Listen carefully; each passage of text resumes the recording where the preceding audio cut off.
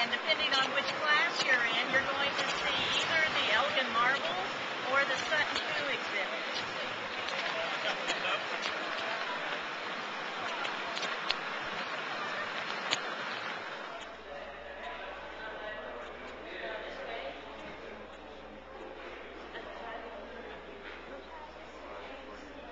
These few artifacts are nearly all the evidence that remains second and most important invasion in the story of the English language, the Anglo-Saxon invasion.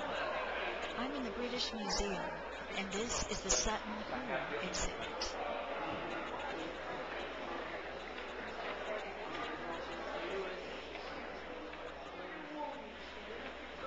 Archaeologists excavated these items from what's known as the Sutton Hoo ship burial on the east coast of England in 1938. Scholars were amazed to find that these objects and the boat itself matched the descriptions of ships and weapons found in Beowulf.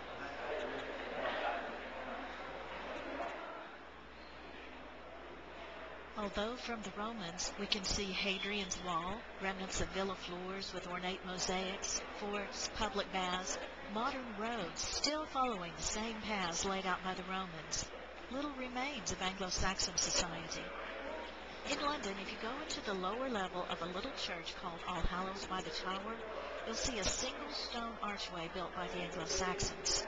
Throughout Britain are a few other bits of structures, mostly churches from the late Anglo-Saxon era. When the Anglo-Saxons came to Britain, they were a pagan warrior society. It's not surprising that many of the artifacts from the time period are swords or other weapons or pieces of armor. Other artifacts were items used in everyday life, such as this cooking pot that would have hung from the rafters in the Great Hall.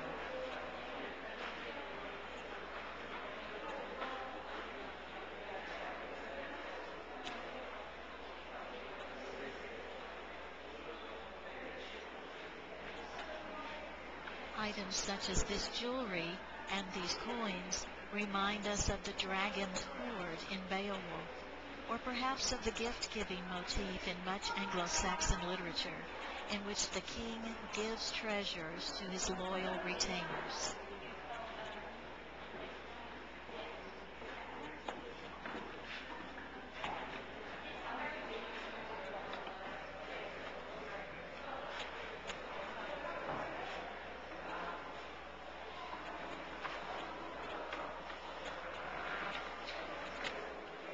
Because the Anglo-Saxons were illiterate, they had no recorded literature, but they had a rich tradition of oral literature. At night in the mead hall, they passed a harp like this one around the tables, taking turns playing and chanting or singing stories about brave heroes and their superhuman deeds, stories like Beowulf. Although we have so few physical objects from the Anglo-Saxon culture, they left us the most important legacy of all, the English language.